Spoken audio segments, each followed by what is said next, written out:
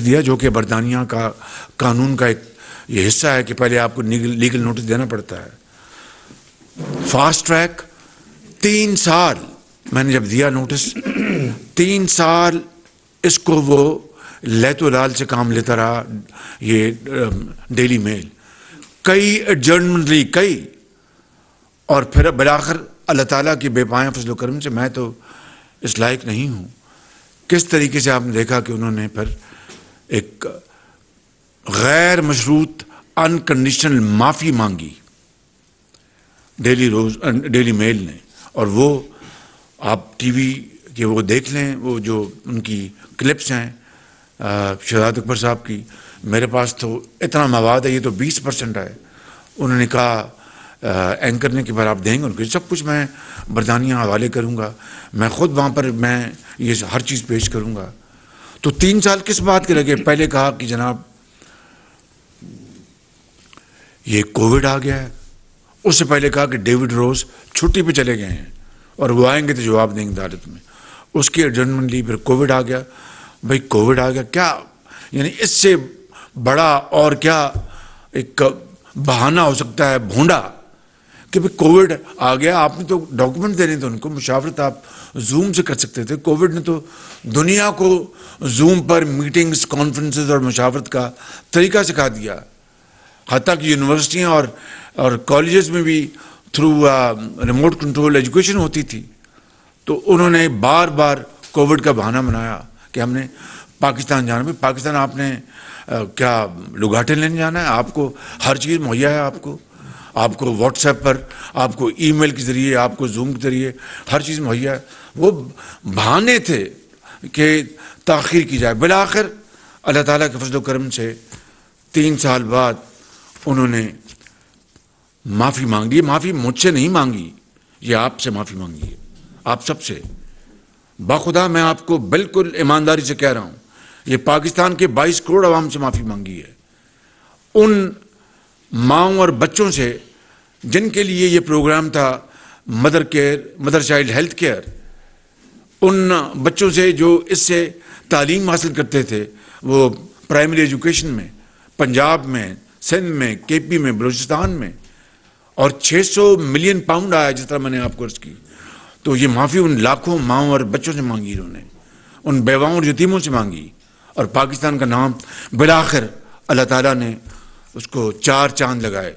ये मेरी वजह से नहीं ये अल्लाह ताला के फजल करम से ये जो हकीर खिदमत थी वो आ, सामने आ गई और उन्होंने बिलाखिर माफ़ी मांगी और ये पाकिस्तान को अल्लाह ताला ने इज़्ज़त दी। और दूसरी तरफ़ क्या हुआ? ये शूमी किस्मत देखें यानी कोई नहीं चाहे कितना भी कोई बदतरीन मुखालिफ हो कोई चाहेगा कि पाकिस्तान यानी जनवनी डैमेज हो जाए। ये जो सऊदी अरब के जो हिज रॉयल हाइनस जो हमारे वहाँ पर प्राइम मिनिस्टर हैं सऊदी अरब के, प्रिंस मोहम्मद बिन सलमान और क्राउन प्रिंस, उन्होंने जो हमारी इतला एक ही घड़ी बनवाई थी, जिसमें खाना काबा का मॉडल था। खाना काबा का मॉडल था और वो घड़ी अतीय के तौर पर दी थी। पाकिस्तान के अवाम की इज़्ज़त के लिए ये इमरान न्याजी नहीं, बाईस करोड़ अवाम की इज़्ज़त के लिए। जिस तरह मुझे भी तोहफे मिले हैं, बड़े वो मैंने यहाँ पर यहाँ पर उसकी एग्जिबिशन है, ऊपर आप जाके देख लें। तो खाना काबा का मॉडल हो तो हमारे यहाँ पाकिस्तान में जो हम मुसलमान हैं, वो चाहे जो मर्ज़ी हम अपनी निजी ज़िंदगी में करें, लेकिन वो नामूस रसालत पर कट मरते हैं। वो खाना काबा की हरमत और इज़्ज़त पर वो कट मरते हैं। ये जो एक इंतहाई, एक घटिया हरकत की, घटिया तरीन कि खाना काबा के मॉडल की घड़ी बेचकर पाकिस्तान को इमरान न्याजी ने सरेआम उसको नीलाम किया, बदनाम किया, इससे बड़ी और कोई कभी हरकत हो नहीं सकती। और ये आज रोज़े रोशनी की तरह बात आया है इसको कोई अब इसको झुटला नहीं सकता कि ये घड़ी बेची गई वो वो, वो दुकानदार भी सामने आ गया जिसने कहा कि हाँ जी मैंने दो मिलियन डॉलर में ये घड़ी ख़रीदी थी। और वो दुकानदार भी सामने आ गया उसका बयान जिसने कहा कि ये रसीद जाली है नाम मेरी ये हैंड राइटिंग है जो यहाँ पर इस्लामाबाद में जो झूठी एक रसीद इन्होंने एक बिल्कुल फ्रॉड किया मैंने इसलिए बात आज से चंद माह पहले फ्रॉडी लफ्ज़ इस्तेमाल मैंने, मैं कभी नहीं करता, लेकिन ये एक फ्रॉड किया, और अब वो दुकानदार ने कह दिया कि ये रसीद भी जाली है, ना मरी ये सिग्नेचर्स हैं, ना मरी ये अपना लिखाई है। चलो लिखाई हो भी जाए तो का लिखाई के ऊपर दुकानदार वो साइन कर दे, उन्होंने कहा, मेरे सिग्नेचर्स भी जाली हैं। तो मैं ये बात आपसे करना चाहता हूँ कि ये है वो एक इंतहाई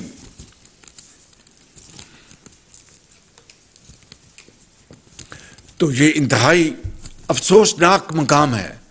एक ऐसा मकाम है कि हमें पूरी तौर पर अपनी इंट्रोस्पेक्शन करनी चाहिए कि किस तरीके से एक ऐसे शख्स ने पाकिस्तान को, हमारी जो मीशत है उसको तबाह किया, हमारे खारजी ताल्लुक को बर्बाद किया, टांग पर टांग रख कर अपना तहकमाना अंदाज में हुकूमत की और जो हमारे, जो बेहतरीन हमारे जो बरदर ममालिक हैं, उनसे ताल्लुक को अपना बिल्कुल ज़ीरो पर ले आए और दिन रात झूठ बोला दिन रात अपना ऐसी लफ गोई की कि जिसकी मिसाल नहीं मिलती। और इसके ऊपर अभी चंद दिन पहले कहा कि ये शहबाज शरीफ ने किया था ना इसने लंदन में पाकिस्तान के अवाम पता नहीं रोब डालने के लिए या उनको दिखाने के लिए। अब इसको पता लगेगा लंदन की ये अदालत है। वाकई उसने ठीक इस, इस हद तक बात दुरुस्त थी कि लंदन की अदालत है जहाँ पर बरतानिया के जो रऊसा जो हैं उनके बच्चे उनको भी जुर्माने हुए हुए हैं। वो भी इन अदालतों में पेश हुई है वो अदालतें हैं बरतानिया की। इसमें कोई दो राय नहीं। मगर अल्लाह ताला ने किस तरीके से पाकिस्तान की लाज रखी पाकिस्तान की इज़्ज़त रखी। उस वक़्त आप में से बाज़ लोगों ने ये तंजिया कहा कि शहबाज शरीफ ने भड़क तो लगा दी कि मैं जाऊँगा, अदालत में देखते हैं कब जाता है। पर जब मैं चला गया तो फिर क्या आप देखते हैं कि नतीजा क्या निकलता? तो नतीजा आज आपके सामने है, कौम के सामने है। डेली मेल ने पूरी कौम से माफ़ी मांग ली है और वो आर्टिकल को हमेशा के लिए उन्होंने अपना हटा दिया है। और कल जो इतवार थी उन्होंने अपने अखबार में जो कि दस लाख उसकी होती है इशात उसके डेली, वन मिलियन, उसमें सेकंड या थर्ड पेज पे वो माफ़ीनामा उस पर उसमें शाया किया है। ये है वो रोहिदाद डेली मेल की। अब आप बताएँ, मेरे दोस्तों, मेरे भाइयों और मेरी बहनों की ये, यानी दूध का दूध और पानी का पानी हो गया। वो ये इमरान खान, उसके हवारी, जिन्होंने नवाज़ शरीफ और मेरे बोझ में और गुस्से में उन्होंने पूरे पाकिस्तान को बदनाम करने के लिए कोई कसर नहीं छोड़ी और डोनर्स को पैगाम दिया कि ढेला न देना पाकिस्तान को। यहाँ पर सब खाया जाता है और पाकिस्तान को किस बदतरीन तरीके से उसने पाकिस्तान को बदनाम किया। आज हम सब, अल्लाह ताला के हजूर, अपने हमारे सर झुके हुए हैं। कि उसने कर्म किया पाकिस्तान के ऊपर और पाकिस्तान के जो इज़्ज़त पर जो एक बहुत कारी ज़रब लगाने की एक जो बहुत बड़ी साजिश की गई थी, खुदा ने उसको उसको अपना फजल कर दिया और कर्म कर दिया। और फिर फाइनेंशियल टाइम में, इनके बारे में जो स्टोरी छपी, जिसमें बताया गया कि अपना इनके शौकत खानम के लिए वहाँ पर पैसा जमा किया गया वो फंड इकट्ठा किया गया, उसको इन्होंने मिलियंस ऑफ़ डॉलर्स इन्होंने लिए और अपने सियासत के ऊपर खर्च कर दिए। किस तरीके से आप जानते हैं कि ख़वातीन को इसने बेगुनाह गिरफ़्तार करवाया? मरियम मरीम नवाज़ को गिरफ़्तार करवाया मेरे सामने। वहाँ पर कोटलखपत अस्पताल में कोटलखपत जेल में, वहाँ पर नवाज़ शरीफ सब कैद थे। वहाँ पर मरियम बेटी उनको मिलने आई हुई थी, वहाँ पर उनको बाहर गाड़ियाँ आई, गिरफ़्तार करके ले गई। अल्लाह ताला का बेपाया फजलो करम के इस्लामाबाद हाई कोर्ट में उनको क्लीन चिट मिल गई। तो आपको शर्म नहीं आई, कुछ ख्याल ना आया कि आपने बेटियों को, कौम की बेटियों को इस तरह रसवा करने की कोशिश की गई? इसी तरह दरदारी साहब की बहन फरियाल साहबा को ईद की रात आपने गिरफ़्तार कर लिया। अपनी बहन आपने उनको एन दिलवा दिया। मैं होता तो कभी इनकी बहन को गिरफ़्तार कभी ना करता। माएँ और बहनें सबकी सांझी होती हैं। लेकिन अपनी बहन को अपना जिसने एक जुर्म किया था अपना डिक्लेयर नहीं किया, मिस डिक्लेरेशन की वो मुर्तकब हुई। दुबई में और अमेरिका में उनकी प्रॉपर्टियाँ पकड़ी गई। कई साल उसको डिक्लेयर नहीं किया और फिर एमनेस्टी से उन्होंने उसका फ़ायदा उठाया। एफबीआर से उनको उनको सहूलत दिलवाई। एनआरओ दिलवाया। ये डबल स्टैंडर्ड्स इस तरह पाकिस्तान को उन्होंने बर्बाद किया। पाकिस्तान की मीशत को और मीशत का हाल आप जानते हैं कि किस तरीके से पाकिस्तान की मीशत उस वक्त हचकोले ले रही थी, जब हमने 11 मई को मैं 11 अप्रैल को मैंने हल्फ उठाया मखरूत हुकूमत की प्राइम मिनिस्टर के तौर पर। और किस तरह हमने एड़ियाँ रगड़ी सच्ची बात बताता हूँ। अपना आईएमएफ के आगे, क्योंकि वो पाकिस्तान के ऊपर एतबार करने के लिए तैयार नहीं था। आईएमएफ का ये कहना था कि आप बात करते हैं, उससे मुकर जाते हैं, उससे बदल जाते हैं। You don't honour your commitments तो हम आपकी बात नहीं मानेंगे। उन्होंने पता नहीं कहाँ कहाँ अंगूठे लगवाए और कहाँ कहाँ क्या क्या उन्होंने गारंटीज ली। तब जाकर आईएमएफ का प्रोग्राम जो है वो अपना दोबारा फिर उसको हमने रिवाइव किया और इस तरह अल्लाह ताला के फजल करम से पाकिस्तान को एक सीरियस डिफ़ॉल्ट की सूरत हाल से बचा लिया। यकीनन हमें महँगाई, जो तेल और, उनकी कीमतें थी पेट्रोल की, जो इमरान न्याजी ने रोकी हुई थी आर्टिफिशियल तौर पर। भाई दुनिया में तेल की कीमतें दिन रात आसमानों से बातें कर रही थी।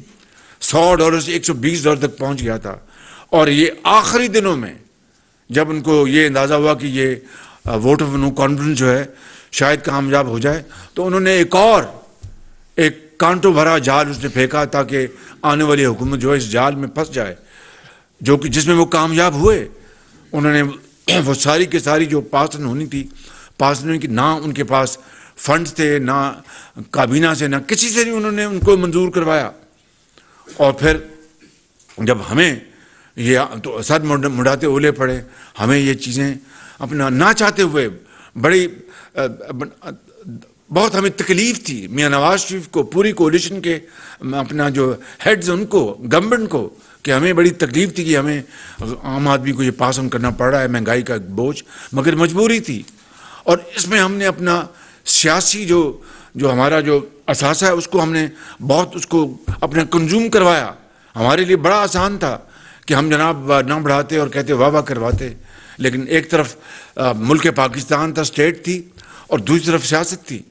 तो हमने अपने रियासत को बचाने के लिए, सियासत को कुर्बान किया। यह हकीकत है बिल्कुल। वगैरह मैं कई मरतबा आपको बता चुका हूँ कि अगर नवाज़ शरीफ की लीडरशिप में हमने दवाइयाँ मुफ़्त दी हमने इस मुल्क के अंदर खाद जो है वो आधी जो कीमत जो थी सब्सिडाइज किया, अरबों रुपए। खाद दी सस्ती, आटा सस्ता दिया। चीनी उस ज़माने में 2018 में बावन रुपए किलो थी। तो फिर हमें क्या मजबूरी थी कि हमें ये फिर महँगाई का एक जो तूफ़ान था, हमें आगे करना पड़ता? मजबूरी थी। आईएमएफ मुश्किल कस रहा था। और हमारे पास वो वसाइल नहीं थे। हमने अपने वसाइल बहत्तर साल में बर्बाद किए हैं और ये इज्तमाही खुदकशी हुई है। उसमें सब शामिल हैं। उसमें सियासी हुकूमतें भी शामिल हैं। उसमें मिलिट्री डिक्टेटरशिप भी शामिल है। अभी आप रेकोटेक को देख लें। मैं उसकी तफसील यहाँ पर बयान करूँ तो आप का सर छत को जा लगेगा। होश रबा वो वो हकायक हैं कि एक एक किलो तांबा ने निकला और पाकिस्तान अरबों खरबों जो है खो चुका है। ये कौमें इस तरह बनती हैं। कौमें तो बनती हैं मुसलसल मेहनत, अमानत और दयानत से, खून पसीना बहाने से। वो आप दौर को याद करें ना 2014 से लेकर 18 तक, जब चौदह हज़ार मेगावाट बिजली ऐड की गई और सस्ती तरीन बिजली मनसूबे जो कि एल से चलने थे और वो चले, तीन चले, चौथा आज भी, अभी शायद वो चल रहा है क्योंकि इन्होंने उसको, उसके बाद, उसको ठप कर दिया। और पता नहीं, चालीस, पचास अरब रुपए उसके ऊपर कॉस्ट ओवररन हो गए। मैं ये कहना चाहता हूँ कि ये गैस के मंसूबे लगाए जो कि सस्ती गैस पाकिस्तान को दे सकते थे और चलाए हमने। मगर कतर के साथ जो माहदे हमने किए, वो तो गैस आ रही है। जब सस्ती तरीन गैस थी, दो डॉलर, तीन डॉलर पर यूनिट, ये लोग सोए हुए थे। ये ख्वाब खरगोश में महफ ये इल्ज़ाम में इनमें लगे हुए थे कि डेली मेल को पलंदा भिजवाना है एन को पलंदा भिजवाना है, मरीम नवाज़ को अरेस्ट करना है, नवाज़ शरीफ को जेल में भिजवाना है एहसन इकबाल को जेल में भिजवाना है, इनको जेल में भिजवाना है, उनको आसफ अजारी साहब की बहन को जेल में भिजवाना है, साद रफ़ीक को, और अपने शाहिद अबासी साहब को राना सना को, कल उनकी बरीत हुई अलहमदिल्ला अब जो लोग कस्में खाते थे, कस्में। तोबा तोबा तोबा। कुरान की कस्में असम्बली के फ्लोर पे उठाई। और आज वो दूध का दूध, पानी का पानी हो गया। खुद प्रोसिक्यूशन ने कहा कि हमारे पास कोई केस नहीं। और वो अल्लाह भला करे कि नवाज़ शरीफ की हमने सुपर, लीडरशिप में लाहौर में जो लगाया था, स्मार्ट सिटी, वहाँ से सबूत मिला। कि रावी के जब राना साहब की गाड़ी आई तो उन्हें कहा कि वहाँ से इतने वो सबूत मिला, वो सारी की सारी, वो रील सामने आ गई, वो वीडियो सामने आ गई। सब फ्रॉड था, झूठ था बिल्कुल। तो चार साल झूठ, बुक्स, अनाथ विक्टमाइजेशन दिन रात इनको पकड़ो इनको पकड़ो इनको पकड़ो, इनको नहीं छोड़ना। और पूरे वसाइल पूरी कुत इस्तेमाल की जा रही थी। काश के से आधी कुत इधर माश पे भी लगा देते। पाकिस्तान की आवाम की, गरीब आवाम की तरक्की के ऊपर लगा देते। अलहमदिल्ला, हमारी हुकूमत आई। जिस जोगे हम हैं, वो सुनने वाली बात, कोई बड़ी बात नहीं करते। शराब ने तबाही मचाई। सत्तर अरब रुपया वफाक ने, अलहमदिल्ला, इन सैलाब ज़्यादा लोगों के लिए मुहैया किया। सत्तर अरब रुपया, ये तो है सिर्फ़ बेनज़ीर इनकम सपोर्ट प्रोग्राम के ज़रिए। लेकिन नेशनल डिज़ास्टर मैनेजमेंट एजेंसी के ज़रिए जो जिनको एहसन इकबाल साहब हेड कर रहे थे अरबों रुपए के जनाब फ़ूड पैकेट्स पानी कंबल और ये टेंट्स जी? मॉस्किटो नेट्स मॉस्किटो नेट्स अरबों रुपए के ये मुहैया किए। सूबों ने भी इसमें हिस्सा डाला अपना सुबह सिंध ने हिस्सा डाला सुबह बलोचिस्तान में। इसी तरीके से जो लोग अल्लाह को प्यारे हो गए इस सैलाब में अपने कोई तकरीबन मिलाकर कुछ चालीस करोड़ रुपया वफाक ने वो उनके कॉम्पनसेशन दी है। कोई चला जाए तो दस लाख रुपया कोई कॉम्पनसेशन नहीं होती। अभी बहुत बड़ा चैलेंज सामने है। घर बनने हैं, सर्दियाँ आ चुकी हैं। वो बेचारे बाखुदा अपने शदीद सर्दी में बलूचिस्तान के संगलाक पहाड़ों पर वो ठटर रहे हैं। और समझ नहीं आ रही कि ये पैसे कहाँ से आएँगे। मुझे मैं आपको, अपना जो दिल का दुखड़ा है वो आपके सामने रख रहा हूँ। ये पैसे कहाँ से आएँगे? अभी एक आ, अपना खुदा के बंदे ने सौ घर आपने देखा बहुत शानदार गाँव बनाया है वहाँ पर आ, टांक में। वहाँ पर अपना दो कमरे हैं साथ एक टॉयलेट है एक किचनट है एक छोटा स्कूल है एक एक अपना वहाँ पर मेडिकल फैसिलिटी भी है। इस तरह के सैकड़ों नहीं हज़ारों गाँव हमने बनाने हैं। ये अल्लाह ताला मदद करेगा इन हिम्मत हारने की कोई बात नहीं, लेकिन दिन रात इल्ज़ाम लगाना, दिन रात कहना कि पाकिस्तान खुदा न खास्ता श्रीलंका बनने जा रहा है और मैं ये कह रहा हूँ, भाई आपने तबाही और बर्बादी कर दी, इसका हिसाब देना कौम को कि आपने पहले चीनी बेची और चीनी के जो एक्सपोर्टर्स थे और उनके मिलों को आपने अरबों, खरबों का फ़ायदा दिया उस वक्त सात सब्सिडी भी दी, सात डॉलर जो है, वो भी रुपए के मुकाबले में अप्रिशिएट करा था। वो एक विंडफॉल उनकी जेब में आया कि अगर लेट से मैं मिसाल दे रहा हूँ, अगर एक सौ रुपये का डॉलर था, अगर एक सौ दस रुपये हुआ तो चीनी एक्सपोर्ट होती थी दस रुपये भी जेब में, जो एडिशनल और साथ सब्सिडी भी जेब में। ये इस तरह के, फिर चीनी बात इम्पोर्ट की गई, गंदम मंजवाई गंदम बाद में इम्पोर्ट की गई। ये इतने बड़े बड़े स्कैंडल्स हैं। और आप कहते हैं, जनाब शहबाज शरीफ साहब, ये इनको लाते क्यों नहीं? भाई, हम बिल्कुल जो कानून का रास्ता, उसी को हमने अपनाया है। हमें इस वक्त गरीब आवाम की रोटी, दाल, उसकी दवाई का इंतज़ाम करना है, सैलाब जदगान के लिए इंतज़ाम करना। अभी आज मैंने जो पाकिस्तान में के अंदर जो यूरोपीय ममालिक और बरदर ममालिक जो सफरा उनको मैंने आज बुलाया और उनकी पूरी टीम के साथ उनसे मैंने मीटिंग की, उनको बताया। लेकिन इन ये बात मैं आपको कहना चाहता हूँ कि इतनी तमाम तर मुश्किल जो हमने सही हैं, बर्दाश्त की हैं और जो मैंने आपको बताया है, अभी हमने अठारह सौ अरब रुपए का किसान पैकेज दिया है, वो मैं सिर्फ़ मैं आपको पाँच रेफरेंस के तौर पर बता रहा हूँ, तफसील में नहीं जाऊँगा, उसकी अलहदा बात होगी। और इस तरीके से हमने, आपको याद है कि जब अपना के पी में आटे के लिए वो नहीं कर रहे थे, मैंने वहाँ पर फिर जो हमारा ये यूटिलिटी स्टोर्स के ज़रिए हमने वहाँ पर आटे का इंतज़ाम करवाया, चीनी का इंतज़ाम करवाया के पी में। और इस तरह के बेशुमार जो इकदाम और पर जो बाहर के ममालिक ने हमारी मदद की, लेकिन ये चैलेंज बहुत बड़ा है। हमें खरबों चाहिए इस सैलाब जदगान की बहाली के लिए। तीन करोड़ तीस लाख लोग जो हैं, इस वक्त वो सैलाब की जो ज़्यादा हैं, वो सर्दियों से टटर रहे हैं बिल्कुल। इसलिए हमें इस चारों तरफ़ हमें एक चैलेंज का मुकाबला है, उसके लिए हम भरपूर कोशिश कर रहे हैं और कोशिश अलहमदिल्ला जारी है। अल्लाह ताला आज की हमारी मदद करेगा, लेकिन हर रोज़ एक नया आ जाता है जनाब। सोचा छोड़ा जाता है कि पाकिस्तान खुदा न खास्ता डिफ़ॉल्ट करे। पाकिस्तान, अल्लाह ताला ने चाहे आपकी दुआओं से पाकिस्तान के बाईस करोड़ अवाम की दुआओं से इन पाकिस्तान डिफ़ॉल्ट नहीं करेगा। पाकिस्तान डिफ़ॉल्ट करने के लिए पैदा नहीं हुआ था। आपने, आप चाहते थे कि पाकिस्तान श्रीलंका बन जाए। आप चाहते थे। आपने वो हरकतें की जो किसी ने सोची भी नहीं थी। अपनी बहन को आपने नारो दलवाया और बाकी सब कुछ चोर डाकू आपने कहा। आपको शर्म नहीं आती इस तरह की बातें करते हुए? तो मैं ये कहना चाहता हूँ मेरे मोहतरम जो सहाफ़ी बरदर भाई भाई बैठे हैं मैं आपको ये कहना चाहता हूँ कि ये आज आ, के हवाले से ये मैं इब्तदाइन ये बातें कर रहा था उसमें मीशत की बात हुई है ये डार साहब इसके हवाले से बात करेंगे तो फिर आपकी जो सवाल हैं इस बारे में इन फिर आपसे मज़ीद इसमें गुफ्तु होगी। एक बात मैं यहाँ कहना चाहता हूँ कि इमरान न्याजी ने जो सबसे बड़ा फ्रॉड किया कौम के साथ, वो एक सौ नब्बे मिलियन पाउंड का है। सबसे बड़ा फ्रॉड है वो, पचास अरब रुपए का वो फ्रॉड है। काबीना ने ना वो कागज़ देखा और ये सेक्रेटरी काबीना ने हमें बताया कि जी ये कागज़ लिफाफा बंद था, बंद लिफाफा खोला नहीं गया।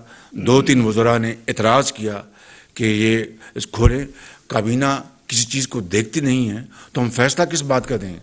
और एक सुप्रीम कोर्ट का फैसला है, मुस्तफ़ा इम्पेक्स की रोशनी में कि हर फैसला वो जो, वो काबीना का फैसला होगा, वो वज़ी अजम का फैसला होगा। यानी इंडिविजुअल वज़ी अजम का बेशुमार मदात में अब काबीना करती है। तो वो काबीना में आया, ना वो लिफाफा खोला गया, ना दिखाया गया, और वो जो पैसा जिस मकसद के लिए वो सुप्रीम कोर्ट में चला गया, इससे बड़ा और क्या? फ्रॉड हो सकता है। लेकिन मैं ये समझता हूँ बतौर एक मुसलमान के कि खाना काबा के मॉडल की घड़ी को बेच देना इससे बड़ी पाकिस्तान की बदनामी नहीं हो सकती। वो ज़रूर वो पचास अरब डॉलर का वो वो वो डाका है जो कि इमरान खान न्याजी ने डाला लेकिन खाना काबा की घड़ी की कीमत बेशक दो मिलियन डॉलर की हो या चार मिलियन डॉलर की हो लेकिन जो हमारी जो बतौर मुसलमान हमारा एक है अकीदा कि आप उस उस, उस घर की जो जो मॉडल की घड़ी बेच दें। ये इसी तरह है कि खुदा न खास्ता आपको खाना, काबा को गुलाफ का टुकड़ा मिले, आप उसको बाज़ार बेच दें। इससे बड़ी एक एक इस्लाम की तजीक क्या हो सकती है? मुसलमानों की इससे बड़ी बेजती का और क्या मुझे बात बन सकती है? तो ये वो गुजारिशात थी जो मैं आज आपसे करना चाहता था। कुछ बात आपसे जनाब फाइनेंस मिनिस्टर साहब करेंगे। माश के ऊपर फिर आपके जो सवाल लेंगे। बहुत शुक्रिया आपका। जी। बिस्मिल्लाहिर्रहमानिर्रहीम।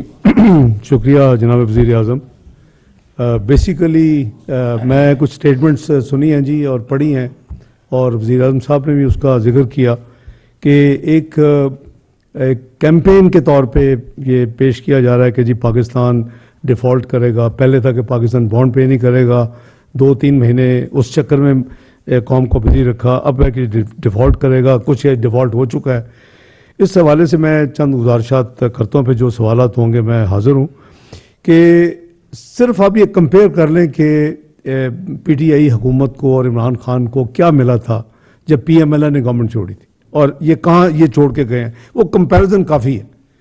यानी जो महँगाई थी मुल्क में, चार इशारिया छः आठ फ़ीसद थी। फ़ूड इन्फ्लेशन दो फ़ीसद थी। जो जी डी पी ग्रोथ है छः इशारिया एक फ़ीसद थी। स्टॉक मार्केट साउथ एशिया में बेस्ट परफॉर्मिंग थी, दुनिया में पाँचवें नंबर पे थी। और आपके जो पॉलिसी रेट है, जिससे ऑब्वियसली बिज़नेस और मीशत का पहिया चलता है, वो साढ़े छः फ़ीसद पे था। ये वो कोर चीज़ें थी जो कि इनको विरसे में मिली और पच्चीस हज़ार अरब का मजमू कर्जा था, चूँकि इनको शौक था कि ज़्यादा हायर नंबर दुनिया में जाके ये कहें तो वो तीस हज़ार अरब था। यानी मजमू कर्जा और अदायगियाँ हालाँकि अदायगियाँ जो हैं वो प्राइवेट सेक्टर या पब्लिक सेक्टर जो कंपनीज़ हैं वो पे करनी वो बजट से पे नहीं होनी। तो चूँकि तीस हज़ार बड़ा नंबर था ये उसको हर जगह ये जहाँ भी इन्वेस्टमेंट कॉन्फ्रेंस के लिए गए और फॉरेन विज़िट किए सऊदी अरेबिया यूएई अमेरिका हर जगह पे जाके पहली बात ये होती थी जी कि हमारे हम डेड ट्रैप में हैं। और दूसरी बात ये करते थे कि जी यानी हम एक करप्ट नेशन है या हम करप्शन की बात करते और फिर तीसरी बात करते हैं, हमारे मुल्क में सरमाया करें आप आगे। मेरा ख्याल है कोई बिल्कुल ही अकल से पैदल होगा इन्वेस्टर जो ये सुन के कि पब्लिक ड्रैप हम डेड ट्रैप में हैं। और दूसरा ये कि हम एक करप्ट नेशन है और करप्शन अरूज पे है और फिर आगे आपके लिए इन्वेस्टमेंट करें ये मुझे उस लॉजिक की समझ नहीं है। बहरहाल अभी हम कंपेयर कर दें इन्होंने ये साथ क्लेम किया था अपने रिकॉर्ड चेक करें कि जी मैं आया अगर मुझे कौम ने मौका दिया तो मैं दस हज़ार अरब इन कर्ज़ों से कम करूँगा। पच्चीस हज़ार का जो है पंद्रह हज़ार पे आना था और जो तीस हज़ार था उसने बीस हज़ार पे आना था। ये इनकी कमिटमेंट थी कौम के साथ। इलेक्शन में अगर इनको जीत जाते छो, कहाँ छोड़ा? इस हकूमत ने पाकिस्तान को बीस बाईस में जब हमारी गवर्नमेंट ऑफ़ यूनिटी आई और मियाँ शवाशी साहब को वजारत उजमा मिली इन्फ्लेशन इंतहाई अरूज पे, वो आपके सामने है, रुपए का बेड़ा गर्क कर दिया, उसको, उसकी कीमत आदि कर दी, लोगों को खाने की जो अशिया हैं, वो उसकी कीमतें अब पूरी लिस्ट है, किसी चीज़ में सौ फ़ीसद से कम कमी नहीं हुई, और दवाइयों की कीमतें तीन सौ से चार सौ फ़ीसद हुआ, जो असल वादा था कि एक मैं रेवेन्यू डबल करूँगा। कि जी मैं ये इन्होंने तो पी, एम एल गवर्नमेंट ने तो पाँच साल में डबल किया है। मैं एक साल में ये आप आप ज़रा अपने रिकॉर्ड चेक कर लें माजी के आपके मौजूद होंगे। एक साल में करूँगा बाकायदा उसकी स्क्रीन शॉट चली पूरे पाकिस्तान में आठ हज़ार करूँगा इन्होंने चार हज़ार ज़रा अंडर फोर थाउज़ेंड किया। वो पच्चीस हज़ार का कर्जा जो है वो ये साढ़े चौवालीस हज़ार अरब लेके गए। पाकिस्तान की तारीख का बदतरीन इंक्रीज है। कभी इतनी तेज़ी के साथ पचहत्तर हज़ार, साल कर्जा पच्चीस हज़ार और साढ़े उन्नीस हज़ार का इजाफा सिर्फ़ बयालीस महीने में ए, नंबर एक। नंबर दो, जो तीस हज़ार का कर्जा था, वो ये साढ़े चौवन हज़ार अरब पे छोड़ के गए। यानी twenty four thousand five hundred उसमें उसमें इजाफा किया। और जो रेवेन्यू का करना था, इनका कोई डिसिप्लिन नहीं था, कोई तैयारी नहीं थी। एक साल इनको ये फैसला करने में लग गया कि जी हम आईएमएफ में जाएँगे कि नहीं जाएँगे? हमने तो दिनों में, पाँच दिनों में बजट दिया बीस तेरह में आके और एक महीने के अंदर आईएमएम का प्रोग्राम साइन कर लिया तो ये अब ये जो रेटोरिक है, ये हमें तो नुकसान पहुँचाने के, मेरा ख्याल है कि इनका ये शायद, यानी इंटेंशनल या अनइंटेंशनल ये तो अल्लाह को पता है। लेकिन ये ज़रूर था कि हम बिल्कुल तबाही के दहाने पे खड़े थे। और ये बड़ा मुश्किल फैसला था मुस्लिम लीग नून के लीडरशिप से और मियाँ नवाज़ साहब के लिए और शहबाज साहब के लिए कि जी, क्या करें? क्योंकि आप सब जी शूर हैं, लाइनें लगी हुई थी लंदन में टिकट टिकटें लेने के लिए। इनके सीनियर तीन लोग थे। सब कहते थे जी, ये तो अपने बोझ में चंद महीने और गुजरे लेकिन वो शायद चंद महीने के बाद point of no return Pakistan के लिए इकोनॉमिकली आ जाती। जैसी श्रीलंका शायद इनकी किस्मत वो था। बहुत बड़ी कीमत अदा की और मुल्क सियासत को जैसे अभी वज़ीर साहब ने कहा कि सियासत के ऊपर रियासत को तरजीह दी। और उसके नतीजे में बहुत बड़ी सियासी कीमत अदा की, लेकिन कमिटमेंट्स किसने की थी? वो पीटीआई ने की थी, वो इमरान खान ने की थी। इन्होंने उस, उन कमिटमेंट्स को पूरा नहीं किया। पाकिस्तान की क्रेडिबिल क्रेडिबिलिटी को ये तबाह करने वाले आज जो मुश्किल का सामना कर रहे हैं, ये जिस, जो इस हुकूमत ने आके, सबसे पहले तो वो उनकी जो कमिटमेंट्स को, ताकि आई एम प्रोग्राम देखें, ये दुनिया में अब आई एम एक एक एक फाइनेंशियल डॉक्टर के तौर पे माना जाता है। आपके साथ कोई दुनिया का अदारा डील नहीं करेगा। World Bank IFC IBRD Asian Development Bank Islamic Development Bank A double I B जब तक आप ट्रैक पे नहीं होंगे। उस ट्रैक के लिए इन्होंने जो कुछ किया जाते जाते जो लैंड माइन्स बिछाए ना सिर्फ़ अपने कमिटमेंट पूरी नहीं की, जो कमिटमेंट्स की हुई थी उसको भी रिवर्स करके चले उससे पाकिस्तान की क्रेडिबिलिटी जो है ना, वो बहुत अरोड हुई। वो हर चीज़ को उस शक की निगाह से देखते अभी जैसे वज़ीर कह रहे थे कि वो वो उनको, यानी वो कहते जी, हमें आप इंश्योर करें कि जो कह रहे हैं वो वाकई सच है और वो वाकई अब करेंगे। तो ये एक हमारी बदकिस्मती है कि अभी अरूज पे सियासत, ये इस, ये सारी वाइब्स इंटरनेशनल जाती है। अब, इमरान खान को पता नहीं, पता कि नहीं पता कि अमेरिका का या वेस्टर्न कंट्रीज़ का डेट टू जीडीपी कितना है। डेट का number is irrelevant it is debt to GDP which means and which matters वो अमेरिका का 110 फ़ीसद है। यूके का कोविड के बाद 101 फ़ीसद है। जापान को दो सौ सत्तावन फ़ीसद है। I can quote dozen of countries जो डेवलप्ड हैं, जिनके सौ फ़ीसद ज़्यादा है। वहाँ तो कोई पॉलिटिशियन या अपोजिशन उठ के ये नहीं कहती कि हम डेट डिफ़ॉल्ट करने लगे हैं। लेकिन हमें बड़ा शौक है।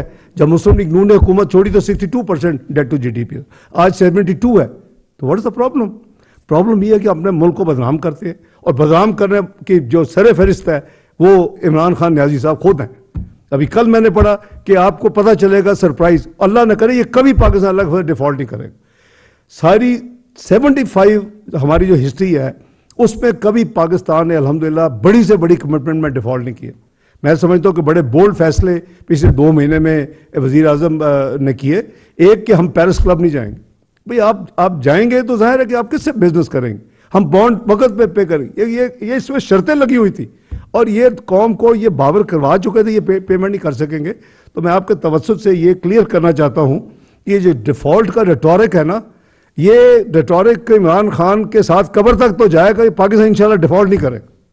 क्योंकि अगर आप ऑब्सेस्ड हो गए कि अपने मुल्क का, आपने बेड़ा गर्क करना है, दुनिया में बदनाम करना है, उसकी रेपुटेशन ख़राब करनी है, उसकी रेटिंग्स ख़राब करनी है, उसको यानी दुनिया के फाइनेंशियल दुनिया में वर्ल्ड में नहीं बिज़नेस करने देना तो ऐसी statements are very good for those who are your enemies तो मैं समझता हूँ कि हर एक को अपने मुल्क का पहले ख्याल करना चाहिए और कोई ऐसी ऐसी वजह नहीं है कि पाकिस्तान डिफ़ॉल्ट करे। अल्हम्दुलिल्लाह, ठीक है, ये नहीं है कि जैसे हमारा बीस सोलह में हम बहुत ज़्यादा यानी कंफर्टेबल थे।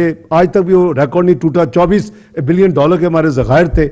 हमारे करीबन ऑलमोस्ट उस वक्त के पाँच, साढ़े पाँच महीने की इंपोर्ट का बिल हमारे हमारे पास फॉरिक्स रिज़र्व थे। अब हम मैनेज कर रहे हैं चैलेंजेस लेकिन ये चैलेंजेस क्या इस हुकूमत ने क्रिएट किए हैं। ये चैलेंज वो पच्चीस हज़ार का कर्जा जो साढ़े चालीस हज़ार पे आप छोड़ के गए हैं, ये मुल्क का जो डेट सर्विसिंग साढ़े साढ़े सत्रह सौ अरब सालाना थी। आज ये चार हज़ार अरब क्रॉस कर चुकी है going to touch close to five thousand who is responsible तो इमरान न्याजी साहब, आपने मुल्क को इस मैच पे ला के खड़ा किया है। और आप तो इन इन वे लकी निकले कि आप किसी को और पकड़ा के चले गए वरना तो आपका वो अशर होता कि शायद क्या तक किसी का ना होता पाकिस्तान। में ये मैं समझता हूँ कि ये क्लाइमैक्स ऑफ़ इरिस्पॉन्सिबिलिटी है। उनको अपना सोचना चाहिए कि मुल्क को ऐसी स्टेटमेंट दे के क्या खिदमत कर रहे हैं एज अपोजिशन में होने के हवाले से। तो ना तो मैं समझता हूँ कि हमें कोई डिफ़ॉल्ट का, को वरी है, हम ठीक है, मैनेज कर रहे हैं चैलेंजेस देखें आते ही पहले उनकी चीज़ों को सॉर्ट आउट किया, अब एक कुदरती एक आफत आ गई फ्लड जो है कैटास्ट्रफी आ गई, वो इस हुकूमत ने किया। इतने वसाइल की कमी के बावजूद ऑलमोस्ट नबे अरब, सत्तर कैश और बीस अरब एनडीएमई के ज़रिए खर्च कर दिए। और आगे कमिटमेंट है कि ये रिकन्स्ट्रक्शन रिहेबिलिटेशन करनी है। तो बात यह जी कि इंशाल्लाह मैं आपके तवसत से ये ज़रा क्लियर करना चाहता हूँ कि ये जो डेट का रिटोरिक है ये बिल्कुल गलत है। इंशाल्लाह ना पाकिस्तान ने कभी डिफ़ॉल्ट किया है ना इंशाल्लाह पाकिस्तान किसी ऐसी चक्कर में है कि डिफ़ॉल्ट करेगा। बहुत शुक्रिया।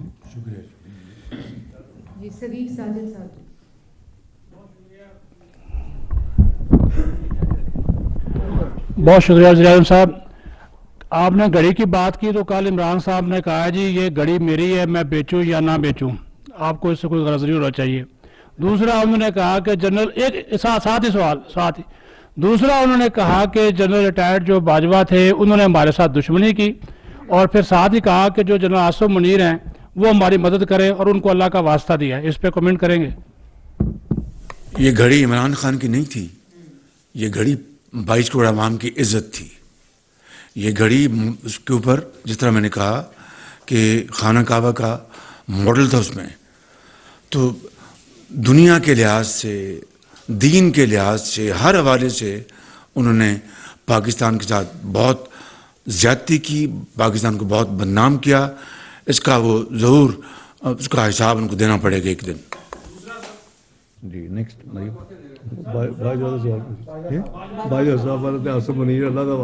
भाई साहब रिटायर होके अपना अप, मेरे ख्याल में उनको आप उनको चैन से ज़िंदगी बसर करने दें। इमरान खान साहब को मैं यही कहूँगा कि वो आपके मोशन थे आप मोशन कुछ निकले हैं। वो आपके मोशन थे आप मोशन कुछ निकले हैं इमरान खान साहब। इससे आगे मैं बात क्या करूँ? और जो नए सिपा सलार आए हैं मुझे इन अल्लाह ताला के घर उम्मीद है, ये अ प्रोफेशनल सोल्जर इनका बड़ा, इनका शाइनिंग कैरियर है इन is a great Pakistani and Muslim और पाकिस्तान के जो इस इदारे को मज़बूत करेंगे और पाकिस्तान अपने दायरे में रहते हुए पाकिस्तान की भरपूर खिदमत करेंगे इन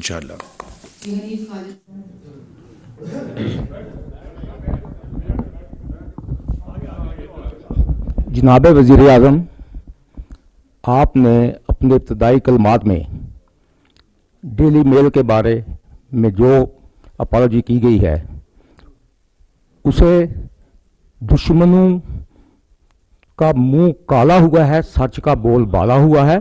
पाकिस्तान के अवाम 22 करोड़ अवाम को बदनाम करने की साजिश नाकाम हुई है। इस पर मैं पूरी कौम अपनी तरफ़ से आप सबको मुबारकबाद पेश करता हूँ। और दूसरे इसहाक डार साहब से मेरा सवाल है कि रात इमरान खान साहब ने ऑनलाइन वीडियो कॉन्फ्रेंस में ये दावे किए कि मार्केट में डॉलर 150 रुपए का नहीं मिल रहा। पाकिस्तान की बरामदात में महाना 18 फ़ीसद कमी हो रही है। और डिफाइल का आपने बता ही दिया। जो बात की, उन्होंने ये कहा था कि 100 परसेंट रिस्क हो चुका है। मैं आपके कमेंट्स चाहता हूँ कौम के लिए। देखिए, जहाँ तक अनीब खालिद साहब रेट का ताल्लुक है इंटर बैंक मार्केट में एक्सचेंज कंपनीज़ में रेट तो आपको पता है कि क्या है, वो 224 के करीब है, दो तीन रुपए का फ़र्क है, लेकिन ग्रे मार्केट में, वो आप सही कह रहे हैं कि ग्रे मार्केट में दस पंद्रह रुपए, अठारह रुपए का फ़र्क है। उसकी कुछ वजूहत है। वो वजूहत ये है कि हमारे मुल्क से डॉलर स्मगल हो रहा है एक नेबरिंग कंट्री में। हमारे मुल्क से हम वीट इंपोर्ट कर रहे हैं फॉरन एक्सचेंज खर्च कर रहे हैं, वीट स्मगल हो रही है। हमारे मुल्क से फर्टिलाइज़र हम इंपोर्ट कर रहे हैं और छः सात हज़ार इम्पोर्ट करके तेईस सौ रुपये में लोकल बेच रहे हैं और सब्सिडाइज जो है फर्टिलाइज़र वो एक हमसाया मुल्क को फिर आगे सेंट्रल एशियन स्टेट तक स्मगल हो रहा है। इस पर हुकूमत ने नोटिस लिया है वजी के नोटिस में है जुमे को आपने देखा होगा कि एक मीटिंग इंटर मिनिस्टेरियल और इंटर इंस्टीट्यूशन हुई है मिनिस्ट्री ऑफ़ फाइनेंस में। उसमें ये फैसला किया गया है कि एक क्रैकडाउन किया जाएगा जो स्मगलर्स हैं, जो डॉलर्स पाकिस्तान से वो यानी क्रॉस क्रॉस दी बॉर्डर भेज रहे हैं, और जो चीज़ें यहाँ से स्मगल हो रही हैं, उसके ऊपर क्रैकडाउन किया जाएगा, खसूस वीट और फर्टिलाइज़र तो आपने देखा कि पिछले 48 घंटे में काफ़ी ज़्यादा रिपोर्ट्स आई हैं। टायर्स निकले कोलों के नीचे से। धर्म पड़ेगा छत्तीस हज़ार एक सिर्फ़ ट्रैवल सो आप देखेंगे कि ये, देखें rate of the government has to be use अगर हम इसको नहीं करेंगे तो फिर यही होगा जो होता है। तो वो उसकी इजाज़त तो वजी अजम ने दी है, और मैंने ऑथोराइज की है सबको, ये उनका मैंडेट है कि बॉर्डर्स को सील करना पड़े तो सील करें। ना यहाँ से अपनी हमारी गंदम एक्सपोर्ट होगी जिसे खरीदनी है वो डॉलर अपने ले खरीद ले। हमें कोई मसला नहीं है। फर्टिलाइज़र लेना लेना छः सात हज़ार रुपये का इम्पोर्ट करें। हम हमने अपनी आवाम के लिए ये सब्सिडी रखी हुई है। जी हाँ जी हम वो चार हज़ार के करीब हम सब्सिडाइज करके बेच रहे हैं क्योंकि लोकल हमारी खरीद जो कॉस्ट है वो तेईस से कम है। तेईस सौ पे बेचते हैं और वो इसलिए कि हम गैस जो है, वो फर्टिलाइज़र के लिए देते हैं। वो गैस हम बिजली भी बना सकते हैं सस्ती उससे। तो ये हमारी सारी चीज़ें फोकस में हैं। और इन आप आने वाले दिनों में देखेंगे कि एक सीरियस क्रैकडाउन शुरू हो चुका है जुमे के दिन से। और इंशाल्लाह उसके नतज पाकिस्तान के हक में आएँगे। तीसरी जो आपने की कि एक्सपोर्ट में कमी, बिल्कुल अठारह फ़ीसद कमी नहीं है। टोटल कमी जो है नहीं नहीं, मैं अर्ज़ कर रहा हूँ ना जी, पाँच महीने का फिगर दे रहा हूँ आपको। इसके तीन फ़ीसद कमी है, लेकिन हमारी जो इम्पोर्ट्स है, उसमें तीस फ़ीसद कमी है। तो ओवरऑल इसके नतीजे में जो हमारा करंट अकाउंट डेफिसिट है ट्रेड डेफिसिट भी कम हुआ है और करंट अकाउंट डेफिसिट जो पाँच इशारिया तीन बिलियन था पिछले साल पाँच महीनों का वो इस साल दो इशारिया आठ बिलियन है। तो ये सारी चीज़ें डायरेक्शन अलग से पॉजिटिव है। खालिद महमूद साहब जी एक्सप्रेस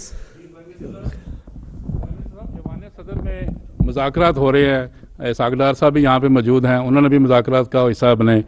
क्या आप बता सकते हैं कि उन मुजाकर का एजेंडा क्या है? और क्या इमरान खान के जो सियासी मुस्तकबिल है, उसके बारे में जो एन आर ओ है, वो भी उस एजेंडे में शामिल है?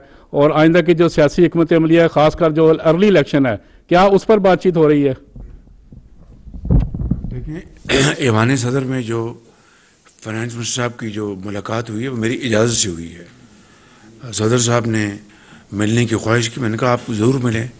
और देखें कि पाकिस्तान की माशी बका सलामती खुशहाली के लिए हम एक क्या सौ कदम आगे बढ़ा सकते हैं। लेकिन ताली दोनों हाथों से बचती है। मैंने आपको शुरू में कहा कि हमने रियासत को बचाने के लिए अपनी सियासत को दाव पे लगा दिया, कुर्बान कर दिया। हकीकत मैं आपको बता रहा हूँ। मैं आपको, मुझे किसी मैं किसी खुशफहमी में नहीं हूँ। लेकिन ये कभी कौमों की ज़िंदगी में ऐसे मौके आ जाते हैं कि फिर एक बड़ी, एक कॉज के लिए आपको कुर्बानी देनी पड़ती है। तो हमने दी है और उसके लिए, उसको संभालने के लिए एक पूरी जस्तजू एफर्ट हो रही है। तो उसमें जब मैं फ्लोर ऑफ़ द हाउस पे खड़े होके जब मैं चार्टर ऑफ़ इकोनॉमी की बात करता था तो किस तरह हकारत के साथ उसको ठुकराया जाता था, बल्कि एक संगीन मज़ाक किया जाता था। कि ये एनआरओ मांग रहे हैं, ये फ़लाँ हैं, ये फ़लाँ हैं। छोड़े उस बहस को, दिल दुखता है। लेकिन आज भी पाकिस्तान के बाईस करोड़ आवाम के मफाद के लिए देखिए, मैं आपको सच्ची बात अर्ज़ कर रहा हूँ कि हमें अपने मुल्क के मुस्तबिल को ताबनाक बनाने के लिए हम तमाम अपने अख्तलाफात भुला सकते हैं। लेकिन एक ऐसा शख्स जो अनाप्रस्त है, जो दिन रात झूठ बोलता है, कौम को धोखा देता है अफवाज पाकिस्तान को बदनाम करता है और मौसम खुश है, उसके साथ आप क्या मुजाकरत करेंगे? और कौम को, कौम का फैसला है कि कौम ने अगले इलेक्शन में क्या फ़ैसला देना है? जो भी कौम फैसला देगी, हम उसको मनोन कबूल करेंगे बशर्तिया के वो शफाफ इलेक्शन होंगे।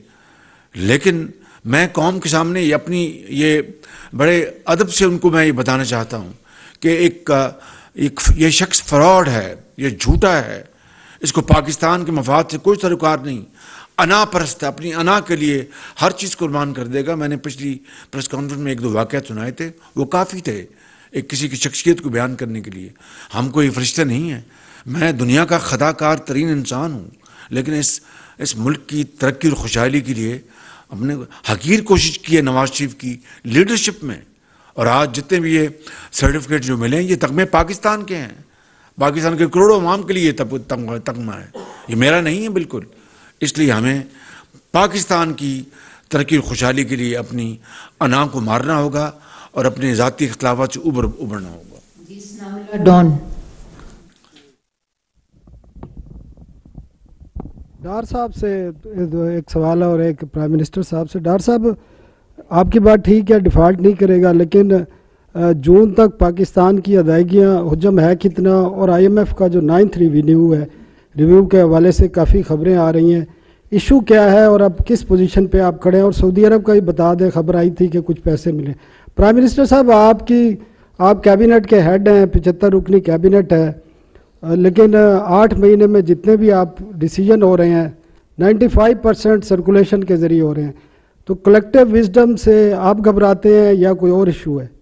पहले मैं आपको जवाब फिर ये जो 95 परसेंट अगर, ये अगर आप बता दें, साबित कर दें 95 परसेंट दूर की बात है।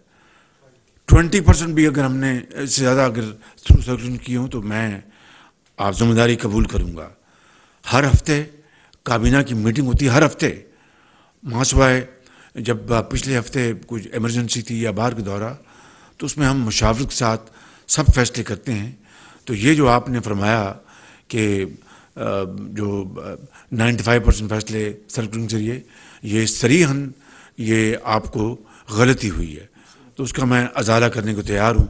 आपको फैक्ट्स बता दूँगा इन जी सॉरी जी, एक तो जो आपने जून तक के पेबल्स की बात की एक्सटर्नल अकाउंट की पूछ रहे हैं ना, अब ऑब्वियसली तो एक्सटर्नल अकाउंट में ये है कि हमने फोकस ये किया हुआ है कि इस पूरे फ़िज़िकल ईयर में हमारी जो पेबल्स हैं मल्टीलेटरल बायोलेटरल कमर्शियल वो सारी एक्सटर्नल लाइबिलिटीज जो ड्यू हैं वो करीबन 21 बिलियन से ज़रा ऊपर हैं। और जो ट्रेड डेफिसिट प्रोजेक्टेड था वो 10 से 12 बिलियन था। तो यू कैन से कि इकतीस से 33 बिलियन के करीब रफली एक्सटर्नल रिसोर्स को मोबिलाइज करने की ज़रूरत है इस साल में। ये कोई ऐसा टारगेट नहीं है जो बहुत मुश्किल है क्योंकि हमने 20, 15, 16 में भी पाकिस्तान ने 35 बिलियन डॉलर यानी रिसोर्सेज एक्सटर्नल मोबिलाइज किए थे। फ़र्क सिर्फ़ इतना है कि उस वक्त पाकिस्तान के तमाम इंडिकेटर पॉजिटिव थे। पाकिस्तान की तारीफ़ें सारी दुनिया कर रही थी।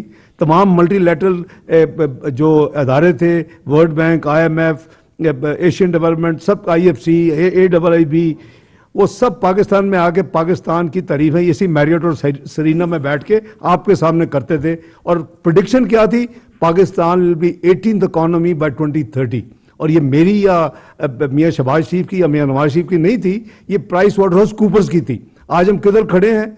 कटसी ईमान न्याजी और पीटीआई की performance we are now projected to be fortieth economy 46 to be precise in 2034 इसका, इसके ऊपर ज़रूर होनी चाहिए पूरी इन्वेस्टिगेशन कि पाकिस्तान की कौम को कितना बड़ा, मेरे नज़दीक पिछले पूरी पचहत्तर साल में ही ये सबसे बड़ा पाकिस्तान के ऊपर ये जुल्म हुआ है। याहिया खान की हुकूमत नोन थी इन इनकॉम्पिटेंट करप्ट इन उसकी जो, जो उसकी थी परफॉर्मेंस मिस गवर्नेंस पीटीआई ने एक नया रिकॉर्ड कायम किया इट इज़ वो भी बहुत पीछे रह गई है।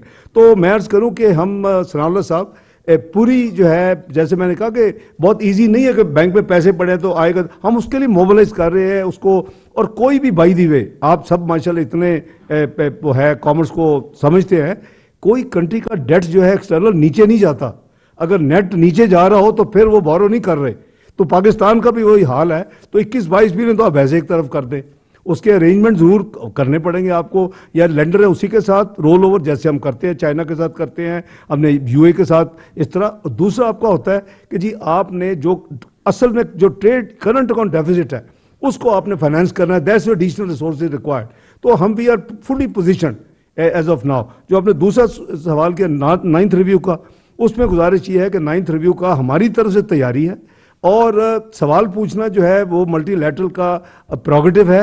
उन्होंने और इन्फॉर्मेशन मांगी है। है थोड़ी सी अनयूजुअल के पहले एक क्वार्टर जो करंट होता उसमें होती थी आगे आगे, आगे भी मांगे वो भी दे रहे हैं। वो फ्लड्स के हवाले से चाहते हैं रिकन्स्ट्रक्शन रिहेबिलिटेशन भी देख लें। वो ये भी चाहते हैं कि वो उसको फाइनेंस कैसे करेंगे। सो एवरी इज़ अवेलेबल और जो सऊदिया का है सऊदिया का हमारी जो है वो इन उम्मीद है कि हमारी जो उनसे बातचीत हुई है वो मटीरियलाइज बड़ी जल्दी होगी जी वो एडिशनल डिपॉजिट के हवाले से। जी साले ज़फ़र साहब। प्राइम मिनिस्टर ये आईएमएफ के प्रोग्राम का ज़िक्र हुआ अभी। आईएमएफ के प्रोग्राम को स्कटल करने की डेलिब्रेट कोशिश हुई अल्हम्दुलिल्लाह के कामयाब नहीं हुई। लेकिन आज फिर कुछ लोगों ने और उन्हीं लोगों ने फर्जी इरादो शुमार पेश करके एलिगेशन फेडरल गवर्नमेंट पर लगाए हैं। और वही लोग थे, आज उन्होंने कहा कि फेडरल गवर्नमेंट हमारे हिस्से की रकूम अदा नहीं कर रही। डार साहब, आपसे ये पूछना है कि आपसे क्या पंजाब के पी के, आज़ाद कश्मीर और जी बी गिलगित बल्तिस्तान की गवर्नमेंट्स ने कोई कम्युनिकेशन आपसे की है इस अकाउंट पर? और प्राइम मिनिस्टर आपसे पूछना ये है कि ये जो सारा रौला गौला इस वक्त चल रहा है, वो जनरल इलेक्शन को वक्त से पहले के लिए है। क्या ये पॉसिबल है कि स्नैप पोल्स हो सके आइंदा अक्टूबर, नवंबर से पहले? यह सवाल प्राइम मिनिस्टर के लिए हमने अपना सियासी एहसासा दाव पे लगाया है। इसलिए नहीं कि हम फ़ौरन चले जाएँ जनरल इलेक्शन में। इसलिए कि मीशत को पूरी कोशिश के साथ, ईमानदारी के साथ कोशिश करके ठीक करें, बाकी अल्लाह ताला के हाथ में देखिए जी, जहाँ तक आपने वो पहला सवाल पूछा कि पंजाब के पी वगैरह तो आपके अल्फाज में सारा रौला गौला है।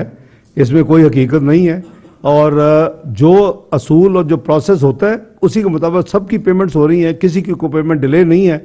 ये ज़रूर है कि कुछ सूबे अपनी इस्तात से बढ़ के और जैसे फेंकना होता है, वो पैसे इस्तेमाल कर रहे हैं। कल मैंने आधे आधे सवे की और क्वार्टर सवे की मैंने लाहौर में देखी एडवर्टीजमेंट मैं समझता हूँ कि वो सूबा या मुल्क उस उन उन जैसी अयाशियों में लफ्ज़ यूज़ कर रहा हूँ मुकम्मल नहीं हो सकता। तो उनको फ़िज़िकल डिसिप्लिन को फॉलो करना चाहिए।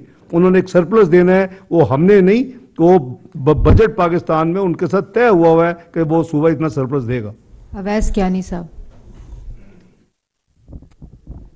सर थैंक यू अवैस के ट्वेंटी फोर न्यूज़ शॉर्ट से सवाल हैं। पहले तो ये बताइएगा डार साहब से कि आलमी खाम तेल जो कीमतें कम हुई हैं, उसका रिलीफ पंद्रह दिसंबर को आप देने जा रहे हैं। मियाँ साहब ये बताएँ कि जो पाक पाक अफगान जो बॉर्डर जो टेंशन जो बहुत ज़्यादा हो चुकी है तो इस पर आप कोई पॉलिसी रिव्यू के हवाले तरफ़ जा रहे हैं? और लास्ट क्वेश्चन क्या मियाँ नवाज़ शरीफ, जनवरी में पाकिस्तान आ रहे हैं? थैंक यू वेरी मच जी इंशाल्लाह इस जो पाक अफगान जो टेंशन है इनको इन- मैं इसकी मीटिंग बुला रहा हूँ फ़ौरन। उसको हम रिव्यू करेंगे सूरत हाल अफ़गानिस्तान हमारा एक अ, हम हमसाया मुल्क हम पूरी कोशिश करेंगे कि मामला को ठीक तरह चलाया जाए लेकिन अभी जो बेगुनाह लोग जो शहीद किए गए हैं और पाकिस्तान के उसकी हमने भरपूर मजम्मत की है और अफ़गानिस्तान से मुतालबा किया है कि वो ऐसे वाक़ात की रोकथाम करें, इस तरह हमारे ताल्लुक जो हैं, वो खुदा न खास्ता उनको जोफ़ पहुँचेगा। दूसरी बात, मियाँ नवाज़ शरीफ सबक वज़ी अजम हैं, पाकिस्तान के अंदर उनके चाहने वाले करोड़ों में बसते हैं और इन अल्लाह ताला तो वो पाकिस्तान जल्द तशरीफ़ लाएँगे इन जवाब। जी, मैं मैं अर्ज़ कर रही तीसरा सवाल में अर्ज़ भाई, बात यह है कि माजी की, देखिए सॉवरन कमिटमेंट्स है, मैं पहले भी किया और ये मुल्क के इंटरेस्ट में है कि हम प्रोग्राम को जैसे भी पूरा करें। ये हमारा कमिटमेंट है, ये प्राइम मिनिस्टर का रिजॉल्व है। हम में इवन रीनेगोशिएशन में नहीं डले कि वक्त ज़ाया होगा। तो मैं एक तो आपको ये शोर कर दूँ, लेकिन उसमें जो कमिटमेंट माजी की गवर्नमेंट कर चुकी है, वो पेट्रोलियम डेवलपमेंट लेवी और दूसरी चीज़ें, उसके अलावा जो भी बचत होगी वो आम को पास की जाएगी नंबर एक। नंबर दो, आपने, आपको याद होगा कि मैं अट्ठाईस सितंबर को आया था, हमने पहली अक्टूबर को एक रिडक्शन दी थी। साढ़े बारह बारह रुपए के करीब पेट्रोल और डीजल में, करीबन पौने ग्यारह के करीब लाइट डीजल ऑयल मिट्टी के तेल में। उसके बाद जब भी ये समरी आती है कि एक में इतना बढ़ा दें, एक में कम कर दें, ये वज़ीर अजम की एक कंसिडर्ड पॉलिसी है कि हम कोशिश करें कि हम अगर कम नहीं कर सकते बढ़ाएँ नहीं। तो हमने उसी फार्मूले में चल रहे हैं, हम क्रॉस सब्सिडाइज करते हैं सारा कुछ। अगर इसके अलावा एक्चुअल हुई, इंशाल्लाह बिल्कुल हंड्रेड परसेंट पास होगी। इंशाल्लाह एक सेकंड नहीं लगाएँगे, लेकिन मैं आपको ये बता दूँ कि यकीन करें कि हर पंद्रह दिन बाद रात को हम बैठते हैं डिस्कस करते हैं और ये कोशिश होती है हतुल मकदूर कि ये गवर्नमेंट की कि भाई ये हम किसी तौर भी गरीब आदमी को हम बोझ ना लगाएँ। और अभी तक पिछले चंद महीनों से अल्लाह ताला ने हमें कामयाबी दी और ये इजाफी अगर रिलीफ मिला तो एक सेकंड में वो आवाम की जेब में पहुंचेगा इंशाल्लाह वो फ़ायदा। अभी जी वुजरा ने आ, सेशन में जाना है तो हम इसको ख़त्म करते हैं इंशाल्लाह अगली दफ़ा बाकी सवाल नहीं वज़ीर आज़म मोहम्मद शहबाज शरीफ न्यूज़ कॉन्फ्रेंस